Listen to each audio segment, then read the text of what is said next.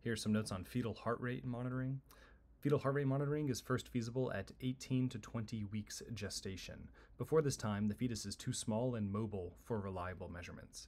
It's most useful after 25 to 27 weeks when fetal heart rate variability is present, and you can use the variability measurement as well.